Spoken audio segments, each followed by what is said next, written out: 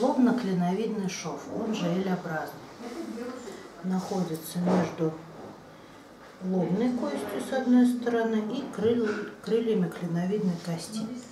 То есть на наружную поверхность черепа выходит вот здесь и продолжается глазница. Техника на лобно-клиновидной кости называется еще техника контук. При этом цефалическая рука берется, ставится щипком на лобную кость, каудальная рука ставится на клиновидную кость.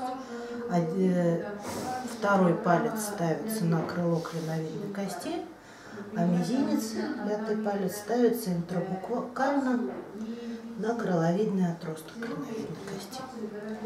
То есть вот так. В этом соединении клиновидная кость покрывает лобную кость. Поэтому первым движением на фазе черепного выдоха мы производим медиальное давление э, пальцами на кость, сопровождая ее в выдохе. То есть вот такое движение.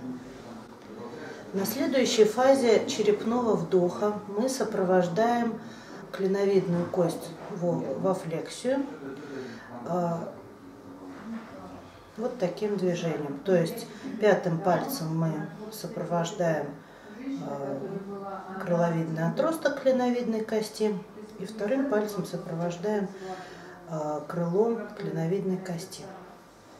Э, следующим шагом на этапе черепного вдоха мы сопровождаем лобную кость во флексию, сопровождая ее вентрально.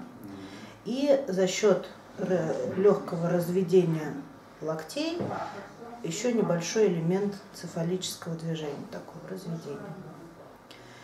И последним этапом на фазе черепного вдоха с опорой на первый палец мы сопровождаем лобную кость, как бы открывая крышечку. То есть это, собственно, техника контур. Вот такое движение такое, если его акцентировать. Сохраняем параметры до э, на ощущения расслабления, потепления, появления движения.